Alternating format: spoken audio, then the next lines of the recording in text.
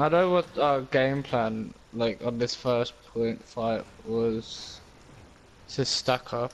You see on the little hill bit there, like stack up on the left side to sort of have the Makoa flank round onto the left side of the point to try and go for the support or the talus.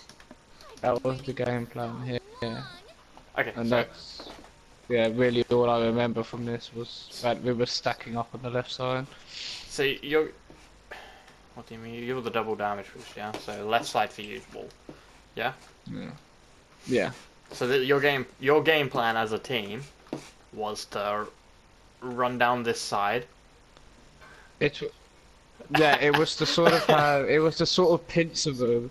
Yeah, like I don't really know. This was Dayton's thing. Like Dayton did everything most for the most part, but it was normally sort of bait the Talus to flank us, so he would use his TP, and then he would normally have his TP on the left side, which was when I would try and go for a hook. But it sort of never really worked out like that. It was we just sort of killed them, and then we won. So game plan again was to run down left side and pincer them in, yeah? Well, pincering them in Yeah, only like- works if you have someone who's going to push right side and create a pincer, because we- a we- pincer is an we- attack we from did both sides. Up, we do end up going onto the right side. like we did, we realised the mistake quite quickly, but it was a thing. I don't know. Okay, so anyway. So you've got a damage boost comp, yeah, you've got double healer. I know you're playing damaging, but you still have technically got double healer, yeah? Hmm. So you've got double healer with that double damage boost. You've got a fairly decent but aggressive composition. So what I think you should be doing is maybe sending the Khan and the Tyra wall side and sending your Makoa and uh, Ying here to fight point. Uh, you can even push them round a little bit if there's nothing coming around. Because if you're going to take this wall side, and they decide they don't want to fight wall side, saying you know just saying that I think Khan and Tyra do go wall side. I think no, Khan and Ying I think go wall side. And uh, the, I think two did the point fighting, and then it was me and Tyra on that left side of the hill. I can't Okay. really remember entirely, but I'm pretty sure that they Khan. were wall side on the point. Okay. But yeah, so basically, if you don't take something to stop them from pushing this area, they will just push this here, yeah?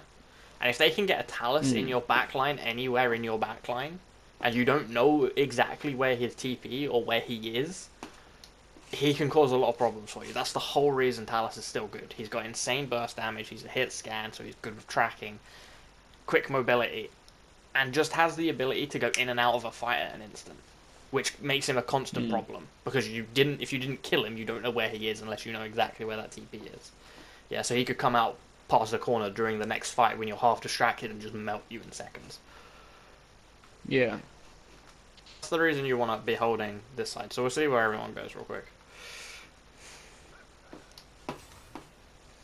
Okay, so we do have we do send the Ying here, but the rest of us go here. But you see immediately they, they push Yeah. it's- aggressive over here onto this side. There you go, Talus is back again. I think he I think he put his rune a little bit too cautiously. Yeah, he played his. And he is playing like a backline right now. Like he should he should be once he gets this rune he should be putting it down and just pushing in. Go and push something. Go push his Khan off a point. Go push the Makoa that's alone. Go push the isolated target. But look now everyone's grouped up again, your Khan's on point, they should be melting your Khan right now.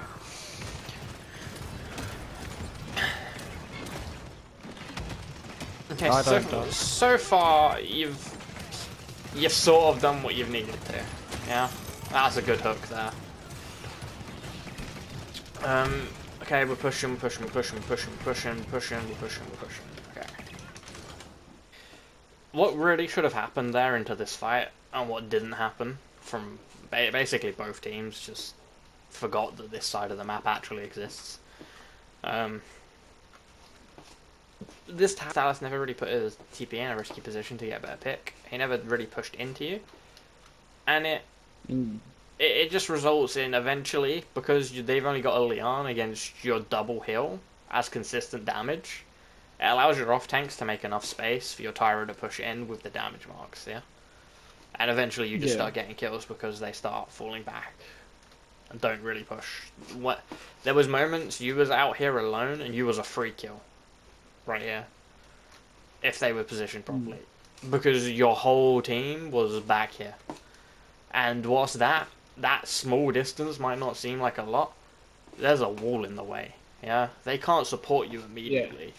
Yeah, they can't. Like you have to use a movement ability to get out, and then you have to use shield. They should realize you've burnt two cooldowns, run off, go kill the Khan at some point alone, or force him off of the point, and then come back to you over here who's got no cooldowns to defend your team anymore, other than that hook. But that hook's an aggressive cooldown. It's not a defensive cooldown, in any way, shape, or form. Yeah. But they don't. You, you you win the fight, and we get what we get. Yeah. So I like this. I like the fact that you're forcing out what's alive. Yeah, you've got no one watching this right the left hand side though. It takes a while. This the term. Yeah, I, tr- I think If did he try had, if he had been enough, patient, your DPS probably Mhm. would have looked away, and he would have been able to get through on his horse. But fortunately, he wasn't patient. He ran past whilst your DPS were looking there. This fight here again, like they're five man stack in this little tiny area. I like the fact that you've taken more space. That Ying ult completely worthless. It heals him and him Yeah, he alone. The Tyrant ult, okay, yeah, you trade the Grover ult. You've traded two for one ults and we've gained no ground, really, than what we had before. They're still fighting in this corner, you're still in there, they're still here. No one's yeah, contesting, so they're giving you free push. They should have pushed this Khan a long time ago, by the way. That ult, it turns their attention. Why they haven't killed you yet, I don't know.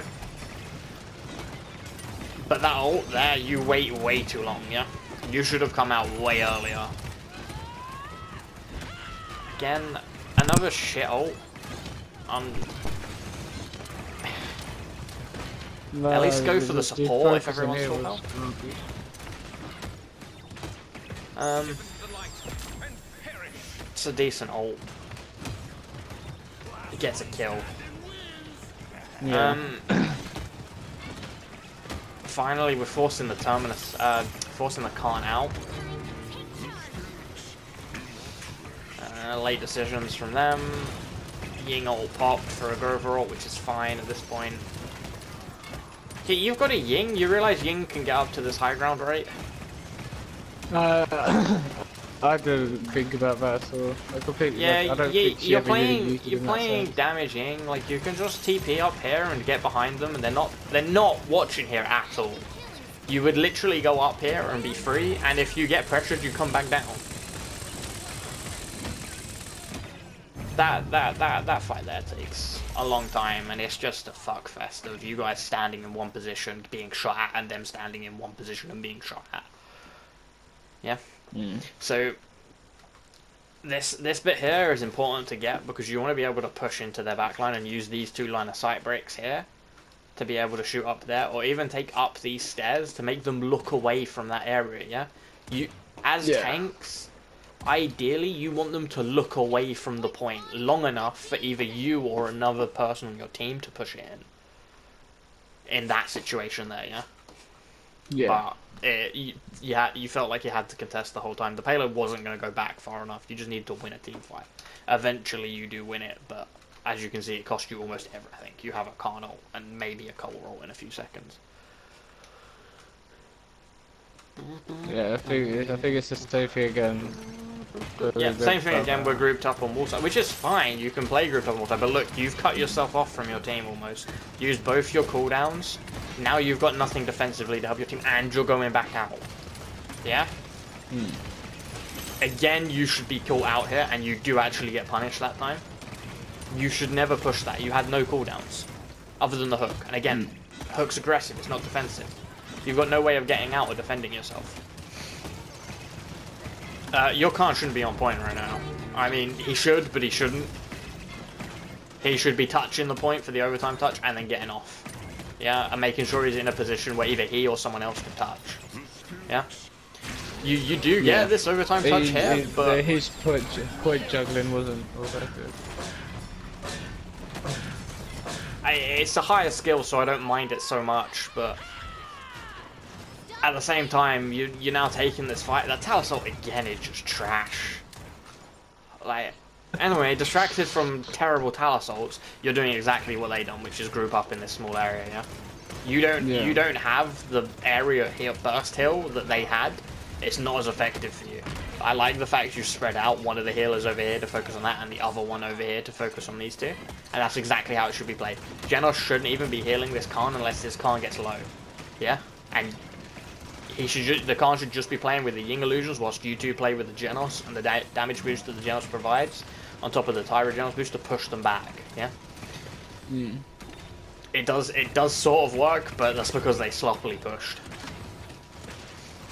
Again, a- a- again, a kill that could have been avoided. Just power siphon for Juliana until she's out.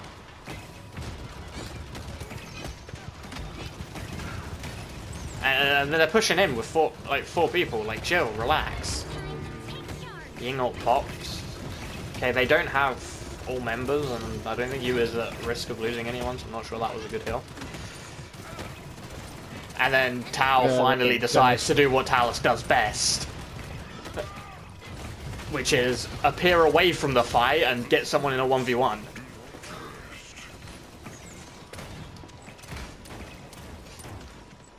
But, oh, okay, like, here, uh, he just got staggered to oblivion because he wasn't running at point or the healer.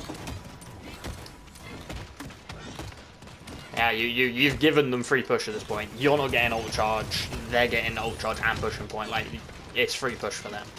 Up to, pretty much up to about here. Yeah. This, this contest is super late, and you, you miss both the advantage contest points, yeah? Because no one's paying attention. And you waste General Assault at the end. Okay, so let me just pause real quick. Right, we'll, we'll ignore that for a second. The, the, two positions you can contest from as a tank, obviously one is here, if it's right here. Yeah, Mhm. if the payload is here, or just peeking its nose from there, you can contest it from here, yeah? If it's Yeah. any further than that, you can contest it from here. But if it's almost on point, you literally have to get down to contest, which means you have to put yourself in a disadvantaged position, yeah? You have to get down Yeah. here, which allows them to shoot at you from under there, from there, from there, from there, from the point. Whereas if you're up here, ever so slightly, and you're contesting here, look how much further they have to come in in order to push you. Yeah? Yeah. Okay. They physically, I'm gonna go in from their perspective. They cannot see that tank that's up there in that corner unless they're here. Yeah, or maybe they can see the foot if they're here. But look how much further in they have to be than if you're down at the bottom. Yeah? Yeah. It's basically like a. You're Easy. cutting out line of sight, and if and then if they want to come contest again, they have to push right in. Um.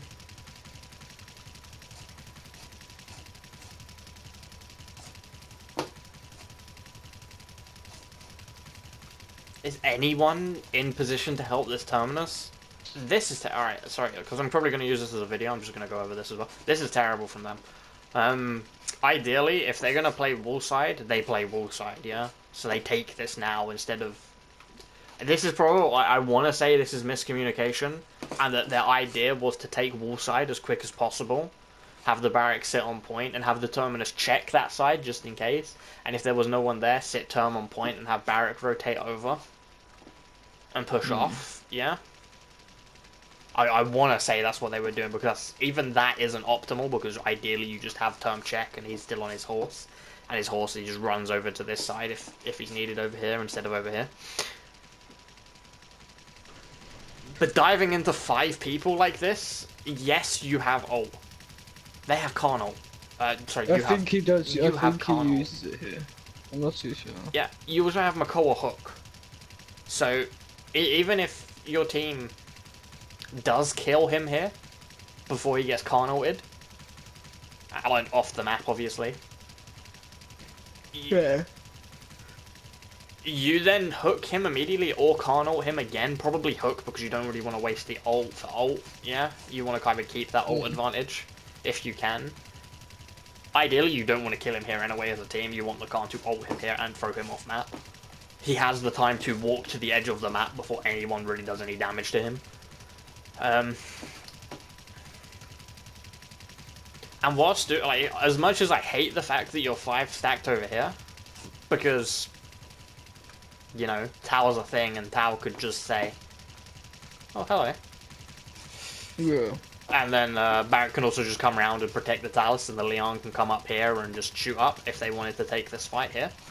Because you've got really no one watching angles, everyone's looking at this turn. L except, except the one person who should be looking at the turn. Yeah? Everyone except the one person who should be looking at the terminus is looking at the terminus. But okay. So we play.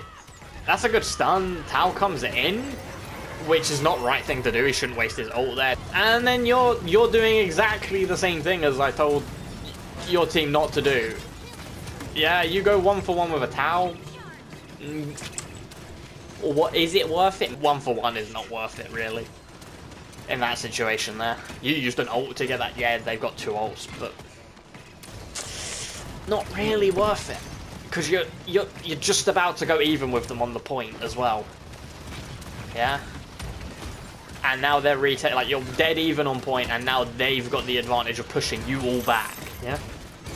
Okay. Again, you're alone. Yeah. You're singled out. You've got no one really with you. You're forced to retreat. Can't ult. Um, but yeah, you retake all that. I think I remember watching that on stream actually. Yeah, he had an enlightenment like lined up and he just didn't press it for some reason. Like it was a three triple kill and he just could have pressed triangle, not been carnoted in. Um, yeah, your Khan just gets busted because Khan against Talus is not a fun matchup. Can you miss a hook, you should be falling back right now. Like, get the fuck out of there and dodge. Yeah, stop pushing this payload for half a second, get the fuck back. No, because I think we, the generals did make the call out to ult in there, which was why I didn't immediately fall back. Yeah, you should still fall back. You want them to push into that, so you want them to come chase him. Yeah? As you see, none of the squishies Yeah. came chasing, because they didn't have the space to come chase. Because you were still there, you were still a threat. So they didn't want to chase. Um, okay, yeah. The, the, this, this skewish fight happens here. This is a bit better from you guys, you don't push everyone into that little room. You sort of surround them. You do it quickly as well, and you ride off of the advantages you have. Again, like, see, like, they do the exact same thing. They contest really late, and it's like, everyone can see you now. Dude, just contest a bit earlier from a position where they can't. It's never good to put a terminus contestant anyway against the Makoa, because Makoa would have took him. But, yeah, it's it's not good. There's a lot of, a lot of sloppy, like, fundamentals. I can't really go in depth, and I won't, because, you know, your team as a whole needs to really work on fundamentals here. So immediately, uh, your team liked to play, like didn't really play this side too much, but the line of sight breaks here are obviously there's this one here if you're trying to push this this wall here, yeah. Uh, if someone's Yeah. pushing there and you don't want the team to look, they have to come out in the open, and the rest of your team should be looking over there, and you should be like standing here behind this pillar to force them to look. You know. Yeah. Like you, small character models, most of them sit behind those perfectly fine to put pressure. Th- This fight is really open anyway. The best thing to do is just to take it slowly and wait for the other team to push up too far sometimes and just evaporate. Push them through this bit if no one's watching through this bit to pincer in, like you were saying. But a, Yeah. pin- pi- a pincer does involve pushing from both directions. Um, like when you're playing wall side, if you stand or come up here, the only people that can help you are the people standing back there. Yeah, they're the only one, the only ones that can actually get any form of line of sight on you. And if you push in even further, even they can't help you anymore. Yeah. There was times you was caught out right in this spot here. Yeah. There, there's nothing they can do to help you. They have to come out into the open, come around to put themselves in a less advantaged position. The only advantageous position they can have is this one, but it's useless. It's probably going to mess their shot up more than it's going to mess the enemy shot up, yeah? Yeah. Um, when playing point, when someone says contest, it's different to someone saying get overtime, yeah? Touch for Yeah. overtime literally means touch for overtime. Do you know the time? Do you know the percentages you need to touch for overtime? Yeah. So anything from 94%, I believe, upward gives you overtime if you touch. I may be wrong, but I'm pretty sure it's 94, 96 to be exact, yeah? But touch for overtime Yeah, yeah, yeah. literally means touch. Touch, back off. Yeah? And yeah, then if you need to touch again, we, we got that else confused as well. Sybil got that confused because he would touch point and then die on it. I, Okay. I did that as well with Couldn't- Jack Draw Fools, but I That- that- couldn't get out. That's why it's cl- it's it's um, really important to say the difference whether you mean touch or contest. Yeah. Contest Yeah. point means stand on it. Contest it. Make it cut if you stand on point. With me. Make it say contesting. Yeah. Yeah. But if I just touch, so go on it, cap it. It just gives me the one contest, and then it doesn't say it anymore. Yeah. yeah, so you get like they get one less tick on it or something like They, that. they get or one less straight. tick, that that half a second tick, and then they get the overtime delay counter. Yeah. Yeah. And if you keep touching that, and coming off, coming back on, touching it, coming off, back on, you're gonna reset that overtime counter every time. So you've got to be able to play on the the three different counters. Okay, so you've got the slow, the medium, and the fast counter. Yeah. Yeah. The the slow counter. Cap the point to 99% for me. Okay, so stand on it. Uh, Okay, so that's the slow one. You've got one and two and three and four. So about five seconds, yeah? So you've bought Yeah. your team a whole five seconds with that one. Go back on it now. That's the medium one. You get about half the time to about three, two thirds of the time, yeah? So you get Yeah. about two to three seconds, yeah? Alright, you just count oh that one. shit. But basically, the, the next one's about a second long, yeah? Yeah. So it's like three different stages of an overtime. Yeah, so you've got basically three different counts. Anything past that third one, you're probably never getting a touch. Nice. Yeah. I'm standing here, you can't push that payload anymore.